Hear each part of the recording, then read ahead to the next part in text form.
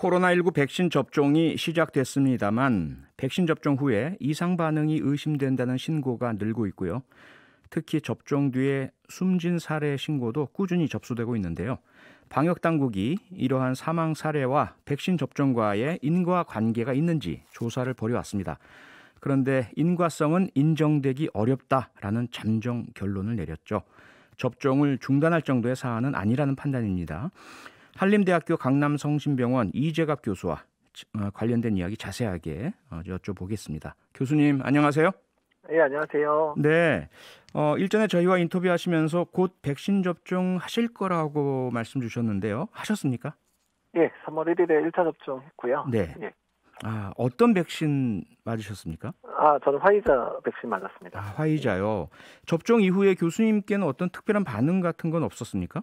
어, 그 접종받은 저녁부터 이제 좀 팔 맞은 부위가 좀 뻐근하게 아팠고요. 그게 하루 정도 갔고 네. 이틀 지나면서는 이제 다 회복이 돼서 크게 음. 문제는 없었습니다. 예. 뭐 일반 독감 백신 정도의 그런 반응이라는 생각이 드, 드네요. 예, 어떠셨어요? 일단 예, 일단 이제 화이자 백신은 1차 접종 때는 좀 가볍게 앓는다 그러고요. 네. 2차 접종 때 좀 심하다고 좀 돼 있고요. 아, 2차 때요. 예, 예, 아스트라네카는 오히려 1차 때 조금 더 힘들고 2차 때 조금 나아진다 이런 얘기들이 있습니다. 네. 그러니까 교수님 말씀은 어쨌든 하루 정도는 조금 불편하긴 했지만 뭐 큰 문제는 없었다. 이렇게 들리는데 네. 그런데 이제 지금까지 그 접수된 그 신고들에 대한 통계를 보면 아스트라제네카 백신 접종자 중에 1.2%, 화이자 네. 접종자의 0.3%가 이상 반응이 있었다라고 신고를 했, 습니다 네. 이런 수치는 어떻게 보- 봐야 되죠? 어, 일단 지금 아스트라네카가 뭐 압도적으로 현재 많이 맞고 있거든요. 30만 예. 명 넘게 맞고 있고 화이자 백신 만명 미만이고요. 네. 또 접종 대상도 아스트라네카는 주로 이제 요양원과 요양병원에 있는 종사자들하고 또한 이제 종사 이제 그 저희 환자분들 또한 이제 의료진들 주로 지금 접종을 하고 있고요. 네. 화이자는 지금 코로나 19를 직접 본 의료진들이 맞고 있는데요.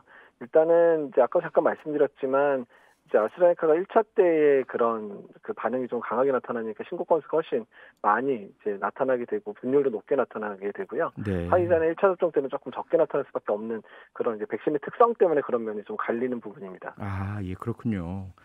음, 그런가 하면 혹시 보셨는지 모르시, 모르겠지만 한 현직 의사분이 본인이 운영하는 유튜브 채널에서 어, 아스트라제네카 백신을 맞은 후에 10시간 정도 지나면서부터 38도 이상의 발열, 오한, 인후통, 독감과 비슷한 증상이 나타났는데 일반적인 면역 반응 증상으로 보기엔 굉장히 심하게 왔다. 이렇게 얘기를 했습니다. 그래서 많은 관심이 쏠리고 있는데 교수님 이러한 부분을 어떻게 보고 계십니까?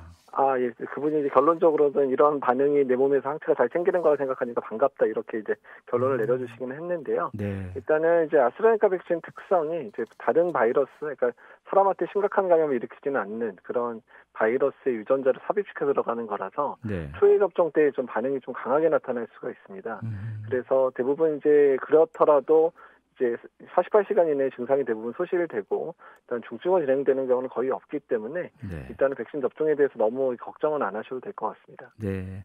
이제 곧 일반인 어르신들도 접종이 시작되지 않습니까? 그래서 네. 많이들 이제 관심도 많으시고 또 걱정도 많으신 것 같은데요. 어, 백신 접종 이후에 열이 날 경우 일각에서는 해열제를 먹어도 된다. 다른 쪽에서는 아니다. 해열제 먹으면 백신에 어, 나쁜 영향 줄 가능성도 있다. 가급적 안 먹는 게 낫다. 어떤 이야기가 맞는 겁니까? 일단 이제 그 열이 날지도 모르기 때문에 이제 백신 맞고 예방적으로 먹는 거는 추천을 하고 있지는 않고요. 네. 근데 다만 열이 난다든지 전신의 근육통이 심할 때는 이제 먹어도 된다. 일단 이제 타이레놀 성분들은 면역계에 큰 자극이 없어서 상관없다라고 돼 있고요. 네. 일부 뭐 이부브루펜이 면역계에 영향을 줄 수 있다는 얘기가 있어서 피하는 게 어떠냐 그러는데 뭐 예. 뭐 꼭 먹을 필요는 있는 건 아니지만 그래도 타이레놀만으로 열이 안 떨어지는 경우는 아하. 이제 브루펜 계열의 약도 먹을 수는 있습니다. 네. 그러니까 가급적 안 먹는 게 낫긴 하지만 열이 너무 심하면 해열제 드셔도 괜- 된다. 가급적 네, 타- 그렇게, 예, 타이레, 타이레놀. 어, 하지만 그게 또 타이레놀만으로 안 들으면 브루펜 계열을 드셔도 된다. 이렇게 이해하면 됨- 됩니까? 예, 그렇게 네. 이해하시면 될 것 같습니다. 네네. 예. 어, 이런 상황에서 지금 미국 CDC 질병통, 질병통제예방센터가 백신 접종한 사람들에 대한 행동 수칙을 발표했지 않습니까? 네. 예. 어, 그 발표 내용을 보니까 백신을 완전히 접종한 사람은 백신 접종자는 물론 저위험 비접종자와도 마스크를 안 쓰고 만나도 된다 이렇게 어, 나왔던데요. 어, 괜찮은 건가요? 일단은 이제 우리나라에 바로 적용하기는 좀 힘든 내용이긴 한데요. 네. 그러니까 지금 미국 같은 경우는 접종률도 높아지고 있을 뿐만 아니라 근데 워낙에 확진자가 좀 많이 나오던 상황들이었기 때문에 일단은 근데 이제 마스크나 이런 착용에 대해서도 좀 반발이 좀 많은 국가였잖아요. 네. 이제 그러다 보니까 이제 고위험, 그러니까 이제 코로나에 걸렸을 경우에 중증으로 진행할 만한 사람들을 만날 때는 반드시 마스크 써라. 혹시라도 이제 백신 접종자들도 무증상 감염이 있을 수 있으니까. 네. 그렇지만 이제 저위험, 그러니까 걸리더라도 크게 문제가 안 되는 분 사람들을 만날 때는 마스크를 벗어도 되겠다. 이 정도로 권고를 한 거거든요. 네. 근데 우리나라처럼 이제 이런 방역을 이제 철저히 하는 국가 입장에서는 이제 이런 부분들 바로 받아들이긴 조금 어려운 내용들이라고 생각은 듭니다. 네. 우리는 어쨌든 백신 접종한 이후에도 어, 마스크를 좀 쓰고 당분간은 집, 예. 네, 집단 면역이 될 때까지는 마스크와 함께 있어야 되겠, 되겠네요. 예, 좀 그렇게 좀 추천을 하고 있고요. 네. 특히 지금 이제 중증 예방 효과는 뛰어나고 또 예방 그 감염 예방 효과 뛰어난다고 돼 있지만 무증상 감염에 대한 예방 효과가 명확하게 드러나진 않고 이러기 아, 때문에 예. 특히 이제 고위험 환자분들과 만나시는 분들 같은 경우에는 혹시 본인은 발진 맞아서 가볍게 앓지만 이제 음흠. 상대방한테 전파시킬 수 있는 위험성 때문에 네. 현재 마스크를 더 착용하도록 권장을 하고 있습니다. 네. 어, 그리고 이제 가장 관심이 많이 집중되고 있는 것이 백신 접종과 사망과의 관계일 텐데요. 어, 어제 방역 당국이 국내에서 코로나 백신 접종 이후에 사망 신고된 11분에 대해서 1차 검토를 했는데 어, 이 1차 검토가 끝난 8명에 대한 조사 결과 백신 접종과는 관계가 없다 이런 결론을 내렸지 않습니까? 예, 그렇습니다. 일단은 네. 이제 시간적인 선후 관계일 뿐이지 일단은 그런 분들 같은 경우는 이제 그 질환, 그러니까 본인 가진 기저 질환이 악화되든지 또는 기저 질환 때문에 이제 2차 감염이나 이런 것들로 인해서 급성으로 사망한 경우에 해당될 가능성이 높다. 그리고 음, 일부는 이제 부검을 통해서도 증명을 하겠다라고 얘기를 하고 있고요. 네. 일단 인과 관계는 이제 없을 것 같다. 가능성이 낮다라고 이제 어제 보고를 했었습니다. 네. 그럼 이렇게 다른 기저질환 등 사망 원인이 밝혀진 경우는 어, 좀 더 명확하게 백신과의 관련성이 없다라고 우리가 어, 받아들일 수 있을 것 같은데 어, 다른 그 원인이 확인되지 않는 경우는 조금 더 시간이 걸리겠네요.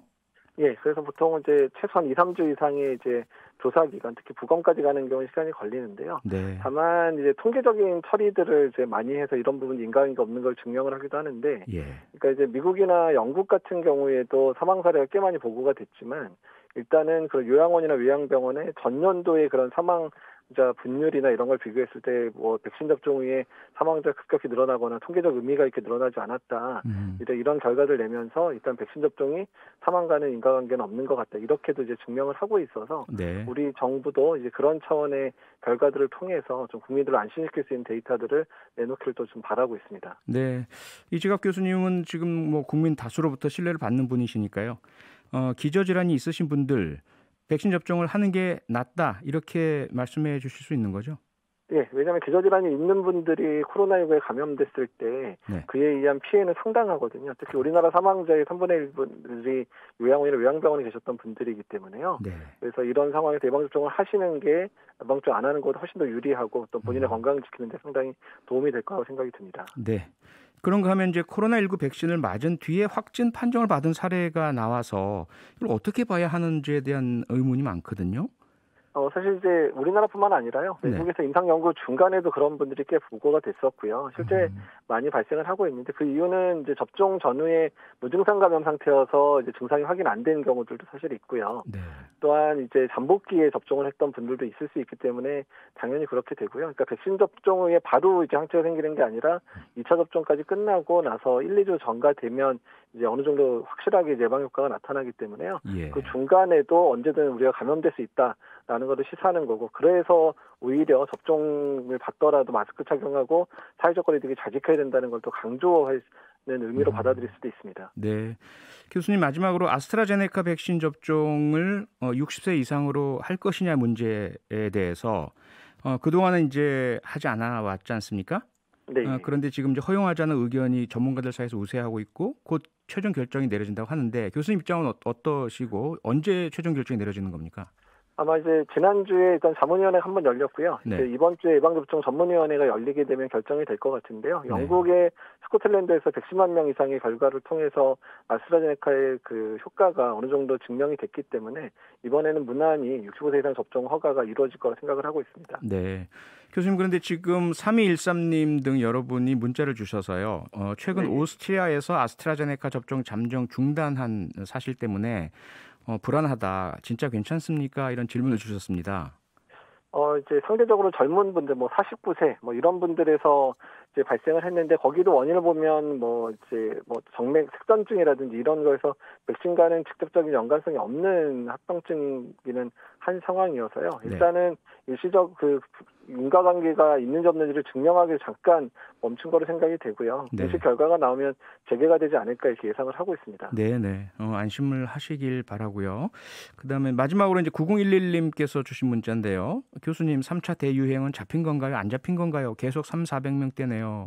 어떻습니까? 예, 일단 3, 400명대 유지되고 있는 거는 그 우리나라의 이제 기초 감염 숫자가 이제 꽤 올라가 있다는 얘기가 되고요. 네. 어떻든 지금 조심하지 않으면 언제든 4차 유행이 갈 수도 있기 때문에 이제 사회적 거리두기도 철저히 잘 지키면서 백신 접종이 이루어져야 되는 상황이라고 생각하시면 될 것 같습니다. 네, 교수님 오늘 말씀은 여기까지 듣겠습니다. 한림대학교 강남성심병원 이재갑 교수였습니다. 교수님 고맙습니다. 네, 감사합니다. 평일 저녁 6시 5분에 여러분을 찾아갑니다. MBC 라디오 표창원의 뉴스 하이킥.